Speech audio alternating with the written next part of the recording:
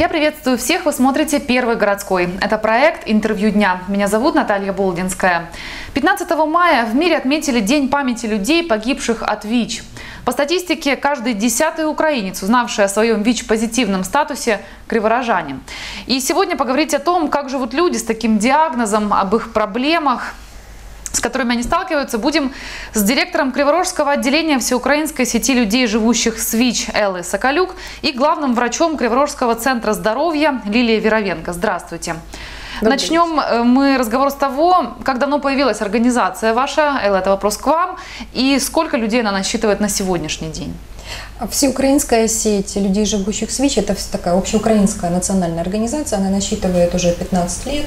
А наша организация в этом году, в июле, ей будет 11 лет. А на сегодняшний день у нас работает больше, более 90 человек а, персонала. Это специалисты, эксперты, медицинские консультанты, социальные работники, психологи, э, детские психологи, медсестры вот, э, которые оказывают комплекс услуг для людей, которые столкнулись с проблемой ВИЧ-инфекции. Э, чтобы получить помощь вашей организации, как это вообще происходит? То есть человек приходит, становится к вам на учет или как-то вы ведете какую-то статистику количества людей, которые к вам обращаются? Да, у нас на сегодняшний день более 7,5 тысяч клиентов. Это только по городу Кривой Рог. Это те люди, которые столкнулись с диагнозом ВИЧ-инфекции. Среди них есть и дети, и беременные, и взрослые, и пожилые люди. Также мы работаем с колониями и работаем с группами риска на улицах, э, с различными э, люди, которые столкнулись с различными проблемами. У нас есть выездная бригада мобильная, которая тестирует людей на улице предлагает тестирование, консультирование сразу же на месте. И мы работаем с шестью колониями по Днепропетровской области, где также оказываем услуги профилактические, медицинские консультации, социальные и психологические. Для того, чтобы к нам обратиться, нужно просто прийти или позвонить по телефону. Э, и также мы работаем практически во всех э, поликлиниках, во всех центрах э, первичной медико-санитарной помощи Кривого Рога работают наши консультативные пункты, социальные работники. Мы сотрудничаем со спеццентром, со стационарами, где могут находиться эти люди. Люди могут к нам обращаться сами, могут направлять врачи, или же мы сами находим людей, которым нужна помощь, э, как сарафанным радио передаем, и наши социальные работники предлагают эту помощь активно воспользоваться услугами организации, чтобы не остаться один на один с проблемой. Э, основные шаги, как вы помогаете, с чего начинаете и цель, собственно? Первая задача – это, конечно, поговорить с человеком, определить, у нас есть так называемая оценка по ТРЭП, когда социальный работник оценивает ситуацию, жизненную ситуацию, ситуацию со здоровьем, э, первые очередные шаги намечает вместе с человеком, с клиентом организации. Что нужно сделать? Иногда доступом к лечению является банально, что человеку нет нет денег на проезд, или же не с кем оставить детей. Это многодетная мама, которая не может э, получать лечение, потому что не с кем оставить детей. А лечение, да. Э, оно требует, э, да, то есть это да. не просто таблетки, оно требует пребывания в больнице? Или пребывания в больнице, или же даже маме поехать пройти обследование. У нас есть детский центр, куда мама может привести детей, или социальный работник может забрать деток, и они находятся у нас в течение дня, где полностью о них забота и развитие, то есть все услуги в детском центре. Или же также у нас есть э, также тяжелые пациенты, и наши социальные работники оказывают услуги, так и называются, не медицинский уход на дому. А когда у человека никого нет или родственники, тоже нужно, нужно работать. И тогда наши социальные работники оказывают и помощь по дому, и бытовую помощь, и доставляют лекарства, и медсестры забирают э, кровь на дому и доставляют, по, чтобы не возить человека.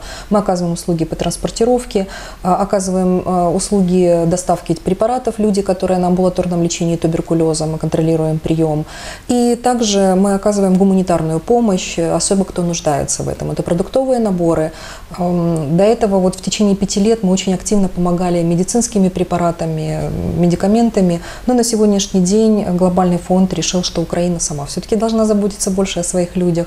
У нас пока нет такой услуги, но мы также занимаемся, привлекаем благотворительные средства. Вот э, как только, особенно сейчас, конечно, это дети в первую очередь, и как только мы мы узнаем о том, что есть ребенок, который нуждается в такой помощи, мы собираем деньги по всей Украине, на покупаем лекарства. На лечение, конечно. А да. дефицит есть э, с лекарствами или проблема только в их стоимости? Ну, смотрите, э, смотря в каком лекарстве. Антиретровирусная терапия по закону бесплатна в Украине. Ее невозможно невозможно нигде купить. Она закупается централизованно, либо государство ее закупает, либо глобальный фонд. Сейчас Украина передала с прошлого года международным организациям закупки во избежание коррупции и э, оптимального использования денежных средств. Все остальные, но не только антиретровирусная терапия. Если человек попадает в стационар, ему очень часто нужны антибиотики, ему очень часто нужны дополнительные медикаменты.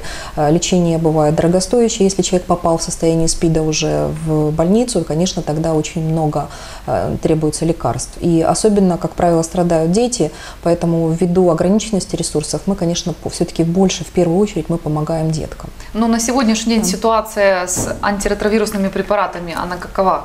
Они есть в Украине? То есть этим ситуация сейчас у нас, не государство? А... Ситуация у нас грустная на самом деле с антиретровирусной терапией, потому что с прошлого года э, были провалены государственные закупки. В течение очень долгого времени шли торги, пока договорились и передали. МОЗ очень неохотно отдавал закупки международным организациям. Это было требование нашей всеукраинской сети и пациенты Украины организации. Мы проводили акции, забастовки, требования выдвигали. И вот наконец-то передали закупки. Украина передала международным организациям UNAIDS и ЮНИСЕФ, которые сейчас э, делают эти закупки. Но график э, поставки лекарств был сорван, поэтому в прошлом году перекрыли недостачу за счет глобального фонда и за счет UNAIDS. На сегодняшний до сих пор, вот уже май, до сих, до сих пор в 2015 году закупки не сделаны, и по сегодняшний день перекрывают это международные организации. Вот на сегодняшний день около 4,5 тысяч схем э, были закуплены только ПЕПФАР препараты, это тоже агентство США с международного развития, это все-таки американские деньги, которые помогли, и вот э, для того, чтобы не оставить людей без лечения, сейчас это международные организации закупили и передали эти схемы. А, между государственных закупок пока до сих пор нет, мы их ждем все-таки, когда они будут объявлены. По прогнозам, скорее всего, они будут куплены только в августе или в сентябре. То есть большая возникает дыра, и опять же перекрывают за счет технической международной помощи. Э, давайте поговорим также о динамике распространения заболевания и о статистике, какая она официально на сегодняшний день и насколько эти цифры реальны или далеки от реальных, да. наоборот? Ну, в общей сложности в Украине на сегодняшний день зарегистрировано больше 240 тысяч э, человек с поставленным диагнозом ВИЧ-инфекция. А, в Днепропетровской области это более 22 тысяч человек. Из них 9,5 тысяч человек – это Кривой Рог. То есть практически почти 50% от всей численности Днепропетровской области пациентов с ВИЧ-статусом – это Кривой Рог. И, э, как сказать, мы не знаем, по мнениям эксперта, одни говорят, что эту цифру нужно умножать на 3, на 4. Некоторые пессимисты говорят, что нужно, если брать скрытую эпидемию, э, умножать на 7, на 8. Э, пока на сегодняшний день официально это около 9,5 тысяч человек состоит на учете в Криворожском спеццентре.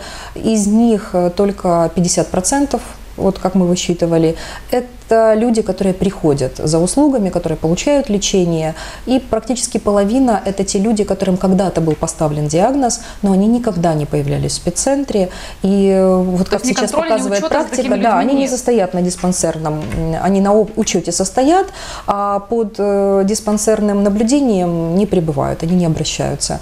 И, к сожалению, вот сейчас наш проект «Респект», который мы реализуем, мы э, подняли такую волну, что сейчас все чаще и чаще идут люди, как, как вновь выявленные, они считают, а когда мы начинаем доводить до учета и ставить, оказывается, человек может состоять на учете с 7 года, с 8 года. Просто он либо не знал, либо он несерьезно отнесся в свое время, не поверил в это. И, к сожалению, время упущено, и очень много сейчас выявляется уже людей в состоянии СПИДа, достаточно в тяжелом состоянии, когда лечение долгосрочное, когда большие риски вообще сохранения жизни и здоровья человека. Э, расскажите о программах поддержки, насколько эффективно они работают в Украине. Мы уже затронули вопрос антиретровирусной терапии, сейчас есть сложности. Ну а в целом страна как-то поддерживает, работают ли эти программы у нас? Да, у нас есть э, национальная программа, которая была утверждена в прошлом году и которая должна быть до 2018 года. Программа достаточно хорошая, очень много общественных организаций. Мы также принимали участие в ее разработке и рекомендации. Э, программа великолепная, только денег под нее практически нет. Есть деньги на закупки э, тест-систем, есть деньги на закупки какие-то относительно молочных смесей, есть деньги на закупку антиретровирусной, практически нет денег на профилактику не выделены. И э, очень мало, э, вообще практически государ... Ну, Украина не выделила денег на уход и поддержку, которая была запланирована. Потому что не только, конечно, в первую очередь человеку нужно лечение. Но для того, чтобы он это лечение получил, ему нужны услуги по сопровождению, по уходу и поддержке людей, по помощи, по выявлению, по построению этих систем. Глобальный фонд преимущественно занимается, который оказывает, по сути, за деньги глобального фонда были созданы все программы в Украине, которые начинались в конце 90-х годов. Это только при помощи и поддержки глобального фонда Украина э, разработала стратегию, и все э, тест-системы, построение спеццентров, э, получение медицинских препаратов, в свое время это было все 100% практически за деньги глобального фонда. На сегодняшний день государство больше на себя берет.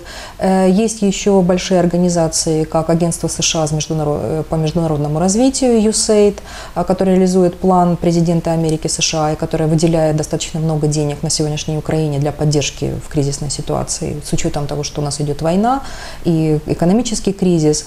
Вот. Э, есть ЮНИСЕФ, международная организация, и они также очень поддерживают. Есть ЮНЕЙДС, то есть они поддерживают достаточно много международной организаций. Украина, э, скажем так, к ВИЧ-инфекции относится очень часто по остаточному принципу.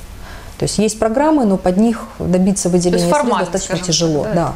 да, да. И это, конечно, очень тормозит. Эм, в 2012-2013 году нам удалось добиться платы, и международные организации отметили, что Украина молодец. Мы стабилизировали эпидемию, эпидемия пошла на спад. Но с учетом последних двух лет, вот у меня есть цифры, что за первый квартал 2015 года уже было на 164 случая э, выявлено больше, чем первом квартале 2015 года. И, соответственно, более чем на 200 э, человек выявлено больше, чем в 2013 году. Э, с чем это связано? Статистика пока неутешительная. Мы, да, с чем это связано, пока мы думаем, то ли мы просто стали очень качественно хорошо выявлять работать, и хорошо да. работать, и наладили системы. Вот. Э, то ли это все-таки, пока это, конечно, посмотрим еще через полгода, когда будет собрана вся статистика по Украине и будут сделаны выводы экспертами. Лилия, вопрос к вам. Как долго человек может ходить, не подозревая о том, что у него э, ВИЧ-инфекция, какие первые симптомы и о важности прохождения обследования, тестирования? Обследование, тестирования на ВИЧ. Да? Э, конечно же, э, бессимптомное течение ВИЧ-инфекции может продолжаться до 10 лет. То есть первоначально, когда человек ВИЧ-инфицируется, Первые две недели это может быть проявление банальное ОРЗ, ОРЗ, ОРВИ. То есть это лихорадка, это ломота в теле, это э, ломота в суставах, головные боли, э, насморки. То есть банальное ОРЗ. Вот. Потом стихают эти все симптомы, и человек ведет себя, чувствует себя абсолютно хорошо, никаких проявлений нет. Единственное, что э, в течение первых трех лет э, он начинает чаще болеть то есть простудные заболевания, может быть атиты, э, могут быть э, какие-то грибковые, стоматиты могут проявляться. Но вот именно частые именно такие вот заболевания. А вот уже клиника проявляется спустя ну, 7-10 лет. Какие это? Это без лечения. Это без лечения. Это если человек не проходит и не принимает АРТ-терапию. Естественно, если же он проходит, э, принимает АРТ-терапию, то уже э, явные признаки ВИЧ-инфекции, они не проявляют себя вот в такой вот степени, как без лечения. Если человек болен и не знает об этом, через 7-10 лет, как вы сказали, проявляются первые уже признаки непосредственно. На что это похоже? Какие? А, ну, самое главное, это иммунодефицит, который проявляется. Это может быть и кандидоз пищевода. Это может быть э, какие-то инфекции половых органов, часто проявляющиеся. То есть э, клиника может быть разнообразная. Причем э, в зависимости от того, какое слабое место у человека, там и будет проявляться дефицит иммунитета. Вот, поэтому туберкулез. Ту, самое главное самое это туберкулез, потому что, в принципе, да, спасибо, я подсказала. Значит, потому что, э, в принципе, мы все инфицированы микобактериями туберкулеза, и когда иммунитет работает хорошо, слаженно, э, микобактерии туберкулеза, они подавляются в нашем организме. И только начинается спад работы иммунной системы, соответственно, проявляются Это одно из самых распространенных заболеваний да. на первых. Ко, называется коинфекция, коинфекция. И туберкулез на сегодняшний день выводит на одно из на первых мест э, смертности. Это такая коинфекция, это двойная инфекция. Двойная инфекция, ВИЧ-туберкулез. ВИЧ-туберкулез. Да, и, как правило, наиболее подвержены туберкулезу люди с ВИЧ-инфекцией, и продуцируется он у них больше. И самая неприятная ситуация – это то, что Украина расплодила мультирезистентный туберкулез в связи с тем, что у нас то были таблетки, мы лечили, то не было таблеток, то пьет меняли человек, схемы. то не пьет, меняли схемы, меняли препараты.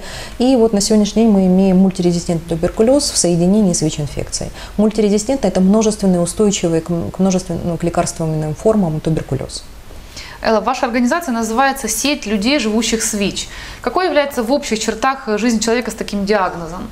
Э, какие сферы как бы самые типичные, проблемные, с которыми сталкиваются ВИЧ-позитивные люди?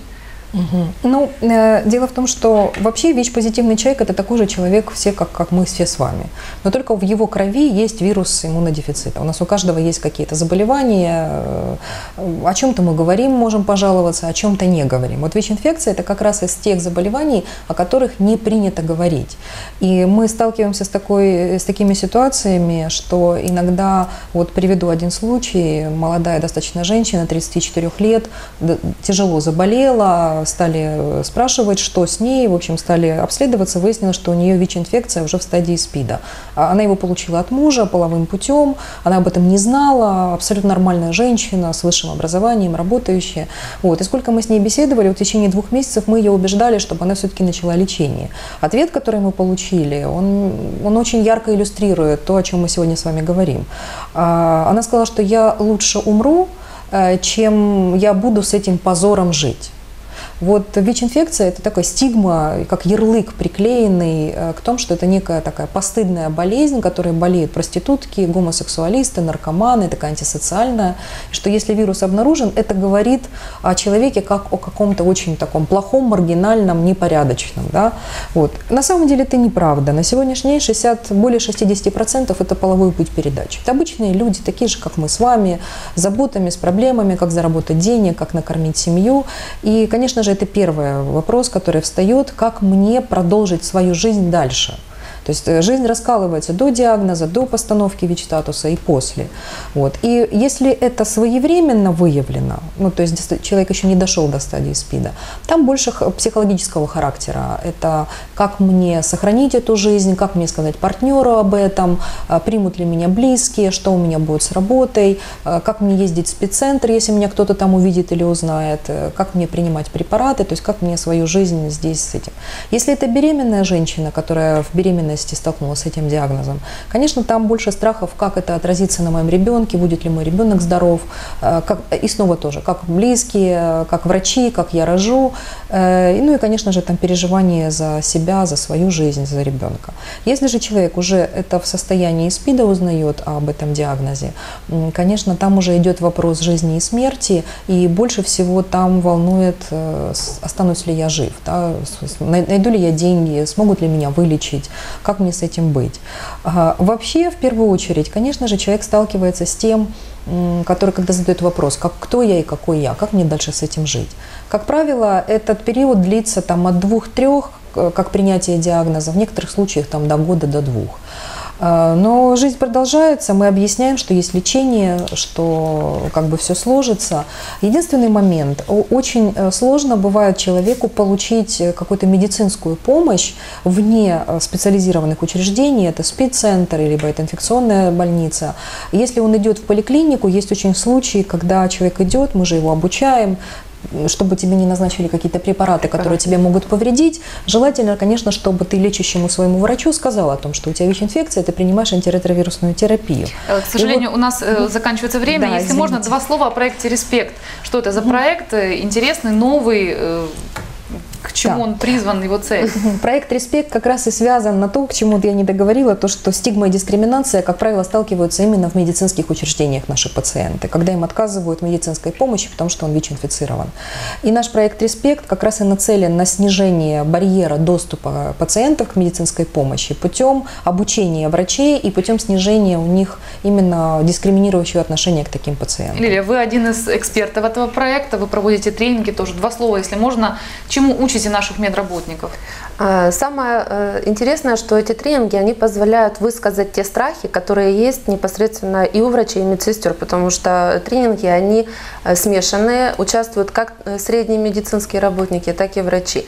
И вот этот вот страх – который накопился вот за, за всю историю ВИЧ-инфекции, о том, как можно инфицироваться. Люди высказываются, делятся опытом, кто-то более опытный, кто-то менее опытный, как себя защитить. И самое интересное, есть такие ролевые, скажем так, упражнения, когда есть опыт э, быть стигматизированным, то есть или быть инфицированным, то есть когда люди в группы разделятся и они проговаривают какие-то ситуации определенные. Вот, когда человек узнал, что он ВИЧ-инфицирован, во-первых, э, сам медработник становится на место ВИЧ-инфицированного а, они проговаривают, э, когда это могло произойти. То есть уже практически идет разговор о том, а, проговаривается непосредственно пути инфицирования. Вот, соответственно, э, кроме этого, обязательно идет ознакомления законодательной базы, повторяются, естественно, пути инфицирования, статистическая информация и очень интересные моменты в сравнении ВИЧ-инфекции и гепатит Б, потому что даже по данным Всемирной организации ВОЗ э, инфицироваться э, гепатитом Б в 100 раз чаще и в 100 раз больше инфицированных, чем э, ВИЧ-инфекции. А что можно сказать о результатах каких-то первых? Проекта «Респект»? Есть какие-то уже подвижки? А, в конце, значит, во время тренинга проходит до тренинговое тестирование участников тренинга и после тестовое тестирование, э, после тренинговое тестирование. И вот мы даже после э, проведения тренинга мы проводим анализ этих анкет э, непосредственно тренера. Я хочу сказать, что не нам, ну, конечно, не намного снижается уровень стигмы, там процентов на 15 в группе уменьшается и увеличивается количество знаний. То есть знаний, а соответственно, знаний больше, страха меньше. Спасибо большое. На этом будем заканчивать. Сегодня в гостях у проекта «Интервью дня» были директор Криворожского отделения всеукраинской сети людей, живущих с ВИЧ Элла Соколюк и главный врач Криворожского центра здоровья Лилия Веровенко. В студии работала Наталья Болдинская. Оставайтесь с нами, берегите себя и до встречи на главном телеканале города.